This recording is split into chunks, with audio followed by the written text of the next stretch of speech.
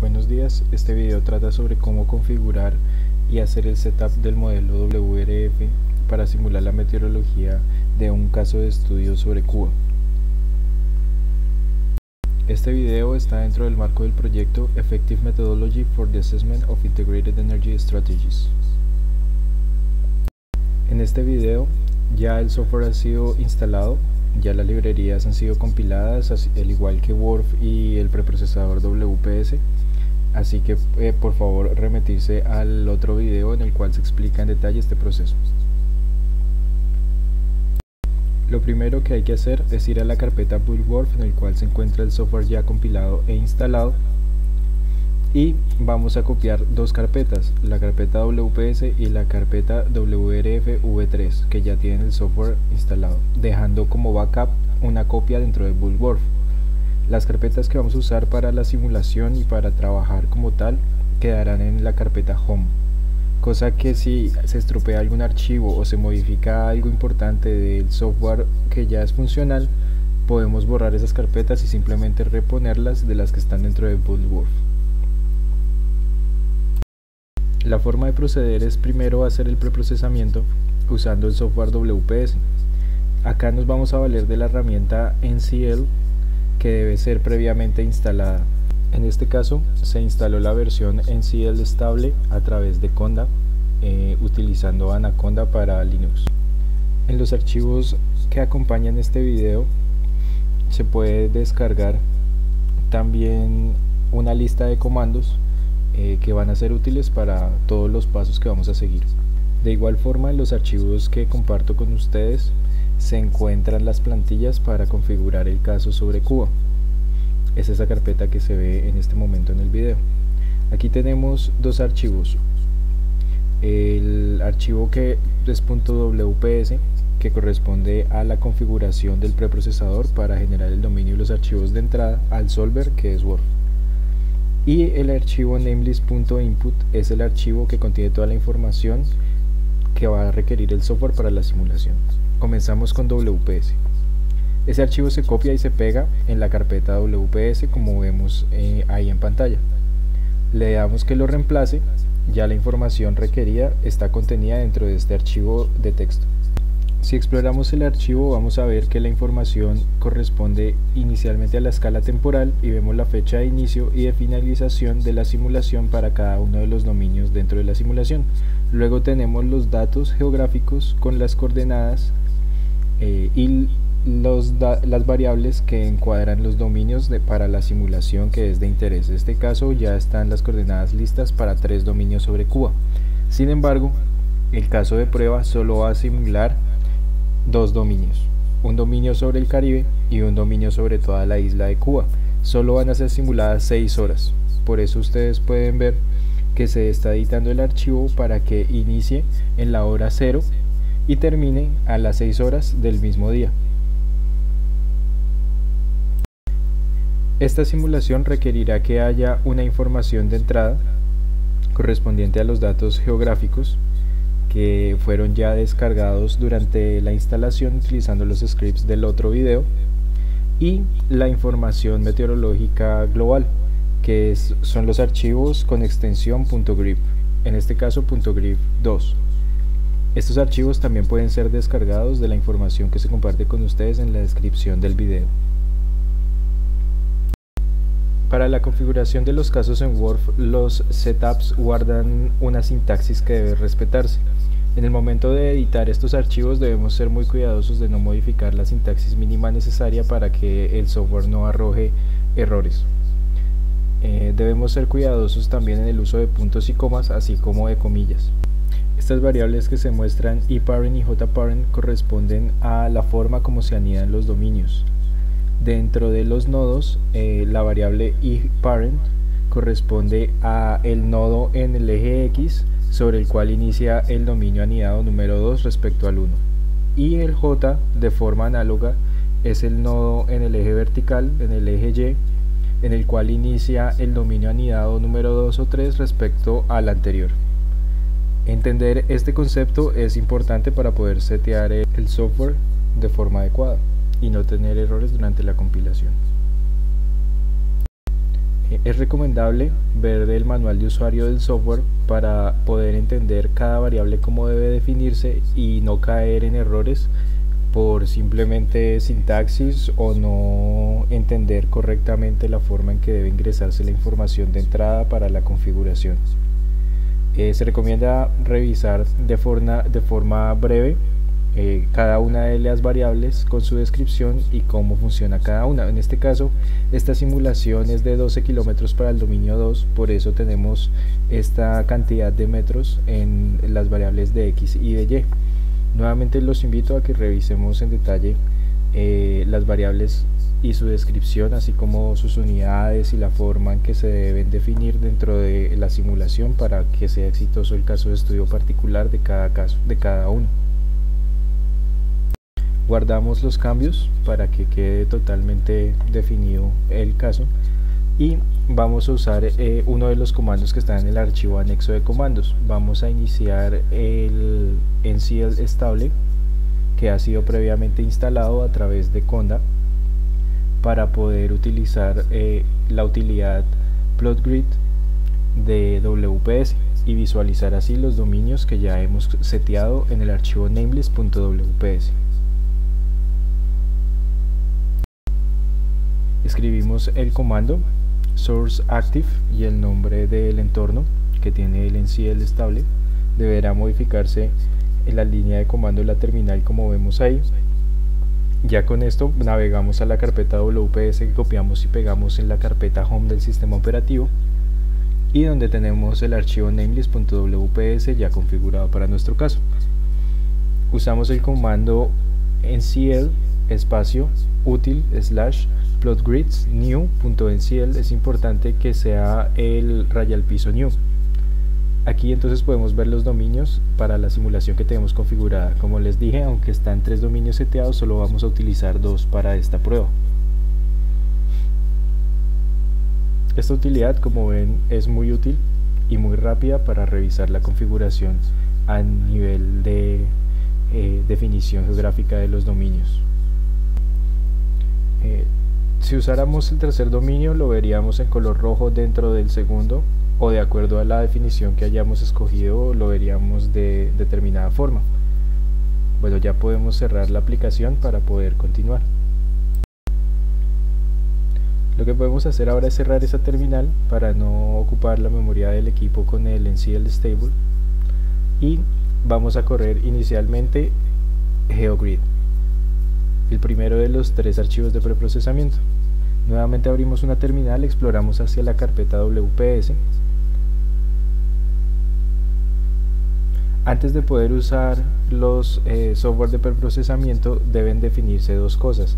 Debe linkearse la información .grip que corresponde a la información que pueden descargar también de de la carpeta que compartí con ustedes en donde se encuentran los datos meteorológicos en una resolución gruesa a nivel global. Debemos linkear la carpeta en la cual está esa información, para eso es este comando que estamos viendo, que corresponde a un script que viene instalado con WPS que podemos usar para tal fin.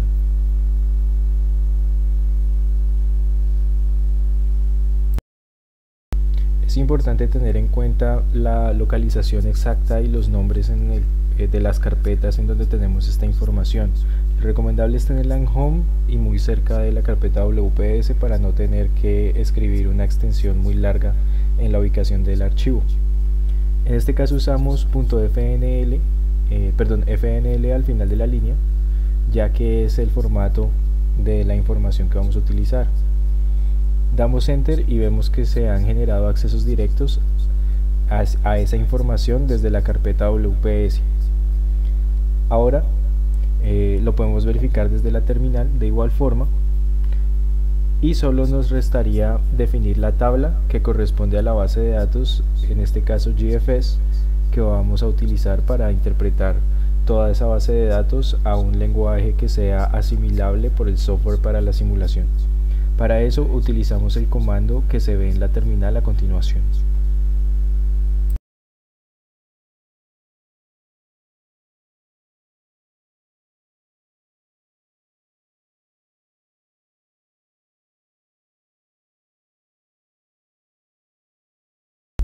La selección de la tabla a utilizar dependerá del tipo de datos que utilicemos para generar los inputs para WRF. Es importante considerar que la calidad de esta información eh, tendrá un efecto directo sobre la calidad de los resultados. Eh, debemos ser muy cuidadosos a la hora de definir lo que vamos a utilizar.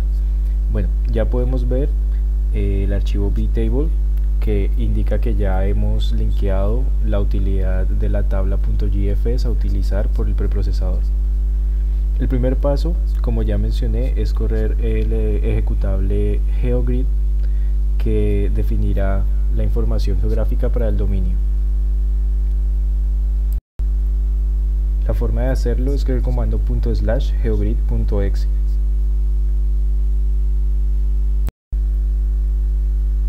Este comando no debe demorar mucho en correr en la terminal.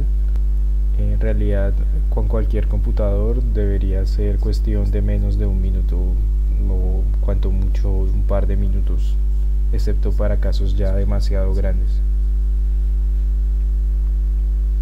Podemos hacer seguimiento en la terminal del reporte y al final veremos que se ha completado satisfactoriamente. Ahora debemos correr el comando ungrip.exe. Este archivo genera unos eh, archivos intermedios de los cuales WPS puede extraer información importante para generar los inputs para, para WRF, para la simulación principal en el solver. Este paso puede tardar dependiendo de la extensión de la simulación en la escala temporal. Tenemos que ser un poco pacientes. Con el fin de agilizar el video voy a pararlo y, continúo una vez se haya completado eh, un grip.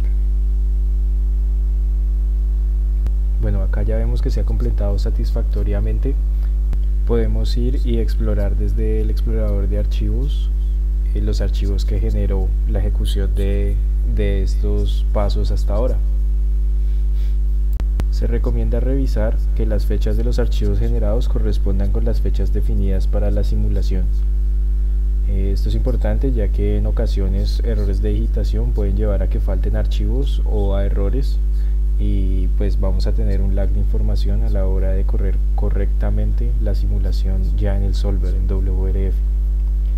Bueno, volvemos a la terminal y usamos el comando medgrid ya para generar los inputs para WRF como ven en este caso es muy rápido.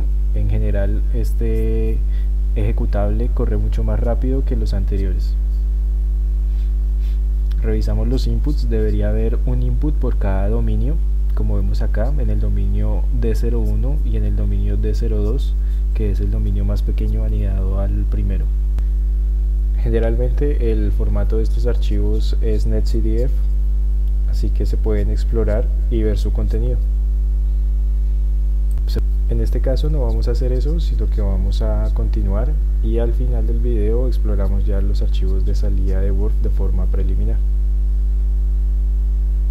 Podemos verificar que los archivos estén presentes tanto en la terminal como en el explorador de archivos de Ubuntu eh, y vemos los archivos de salida de cada uno de los tres preprocesadores. Es importante familiarizarse con estos archivos y con el tipo de archivos para poder evitar y distinguir errores antes de ir al solver. Bueno, para el solver copiamos el archivo namelist.input. Este lo localizamos dentro de la carpeta de Word, la carpeta principal de Word, en una de dos ubicaciones. Puede ser en la carpeta run, donde se recomienda que se corra la simulación, o en la carpeta test y dentro de test hay varias opciones. Se puede correr dentro de Embryo de acuerdo con la compilación que hemos trabajado hasta ahora para este caso de estudio. En este caso vamos a usar run. Copiamos y reemplazamos el archivo ya existente el que está en la plantilla que comparto con ustedes. Esta puede ser una forma más fácil de ver los archivos en forma de lista y por fecha. Vamos a explorar el archivo namelist.input. Acá definimos nuevamente las fechas, eh, la cantidad de dominios y el tiempo de simulación. es importante definir el tiempo de simulación porque va a ser una variable prioritaria frente a las fechas. Si nosotros ponemos un tiempo de, simulación menor al que extiende las fechas, eh, este va a ser el tamaño de los resultados. La variable history interval es también muy importante porque es la resolución temporal con la cual se van a guardar los resultados de cada uno de los dominios. En este caso para el dominio 1 tenemos 760 minutos. Eh, eso quiere decir que cada 760 minutos se van a guardar resultados para toda la extensión espacial del dominio. Mientras que para los dominios 2 y 3 cada 60 minutos. El setup está para tres dominios independientemente de que en este caso solo vamos a correr los dos primeros por cuestiones de tiempo.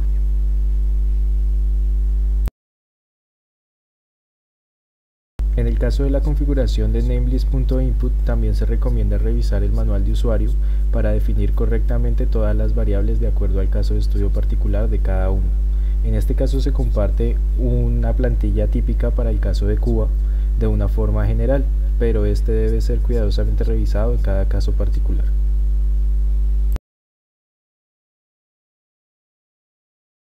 A lo largo del archivo tenemos varios tipos de variables, físicas, geográficas, temporales, eh, y cada una pues tiene variables que se van a definir de acuerdo al caso de estudio. Al final hay variables para el modelo químico de dispersión de contaminantes estas se definen en caso de ser necesario y de tener el inventario de emisiones como input para la simulación. En caso contrario como este, que es solo una simulación meteorológica, se omite. Bueno, navegamos desde la terminal hacia el lugar en el que está la carpeta que mencioné antes, en WRFV3 Run. Y desde ahí vamos a generar accesos directos a los archivos de input que generamos en el preprocesador. Para eso usamos el comando que se ve en la pantalla y el que está también incluido en el archivo de lista de comandos que comparto con ustedes. Antes de eso, eh, echémosle una revisada a los ejecutables que vamos a usar. Son básicamente dos de los cuatro que están contenidos en esa carpeta. El real.exe, que es para generar las condiciones iniciales de la simulación, y el wrf.exe, que es como tal el solver que va a ejecutar la simulación y nos va a dar los archivos de salida que tienen los resultados para nuestro caso de estudio.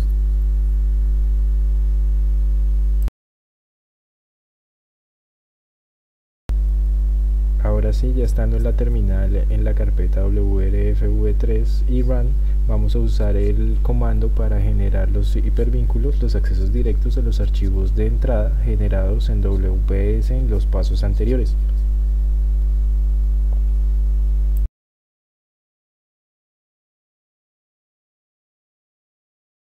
Importante colocar al final el espacio punto después del asterisco. Listo, ahora exploramos y vemos que los archivos se encuentran ya vinculados en la carpeta, como metm espacio la fecha punto en sí. Estos son los archivos de entrada para la simulación.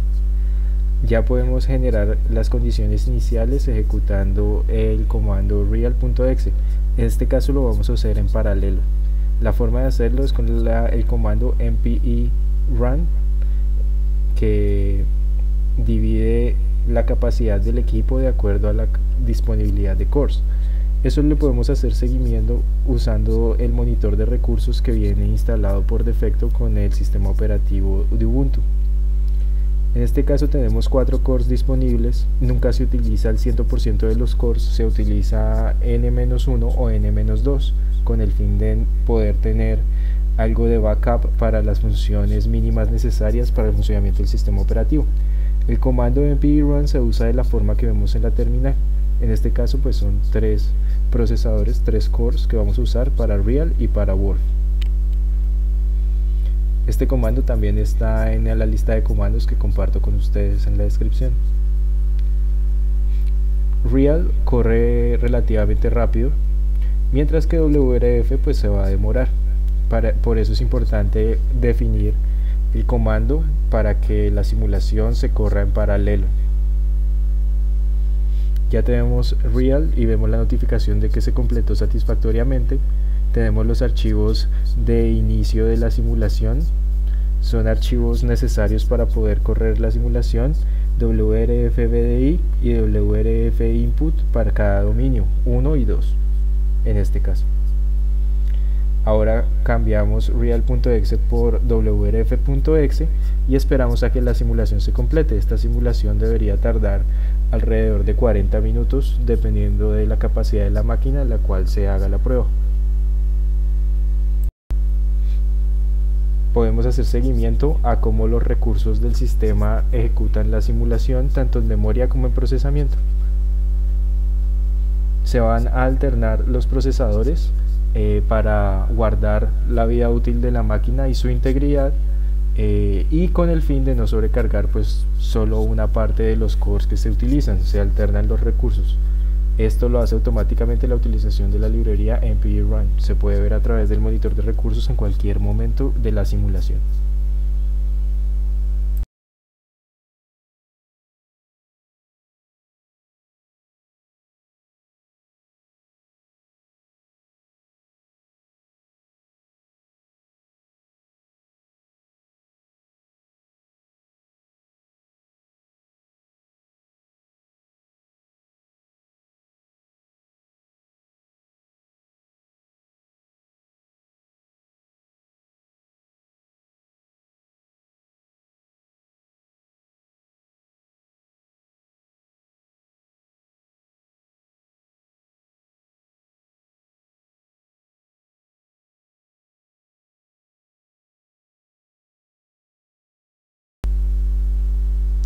Después de haber completado la simulación, podemos ver los archivos de salida de Word, tanto en el explorador de archivos como desde la terminal con el comando ls. En este caso son dos archivos de salida, uno por cada dominio. Nos interesa ver el del dominio D02. Estos archivos serán grandes en su tamaño de acuerdo al tiempo de la simulación y la resolución de la malla empleada para la solución. En el explorador de archivos podemos ver los, archivos en la carpeta Run o desde la terminal. Para explorarlos podemos usar varias aplicaciones como NCDump o NCView. En este caso vamos a usar la aplicación gráfica NCView para dar un primer vistazo a los resultados en el dominio 2. La forma de hacerlo es tecleando NCView y el nombre del archivo que queremos revisar. Ya desde acá podemos seleccionar la variable que queremos ver a lo largo del dominio que están clasificadas por sus dimensiones y vemos cada uno de los frames, debe haber 7, el que corresponde a las condiciones iniciales y luego a la solución hora a hora cada 60 minutos como definimos en la variable al principio para namelist.input, para el archivo namelist.input. Bueno, esto ha sido todo hasta ahora, muchas gracias por su amable atención.